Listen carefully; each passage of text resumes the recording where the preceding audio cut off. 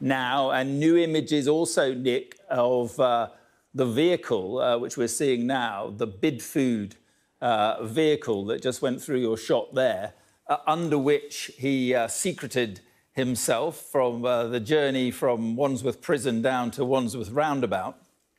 That would have been a journey that, what, would have taken, I'm just guessing, looking at that area, five minutes maximum, I should imagine, five to 10 minutes maximum.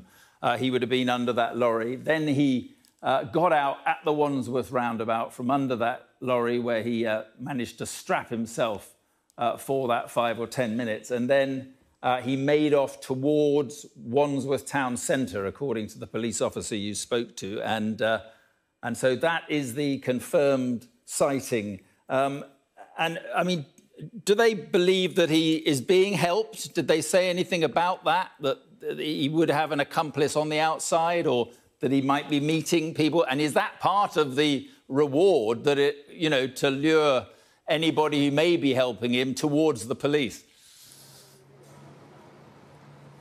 Well, I asked the commander whether they thought, or whether there's any evidence actually that this was pre planned, and he echoed what the chief said earlier today that they are not ruling anything out.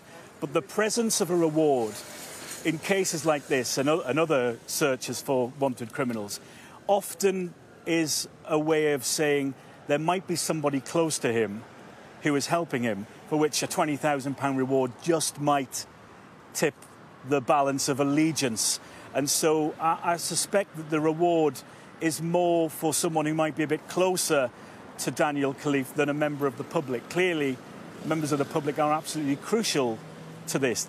It's a pillar of the search, always is in manhunts, and they've obviously had a huge breakthrough with just one sighting.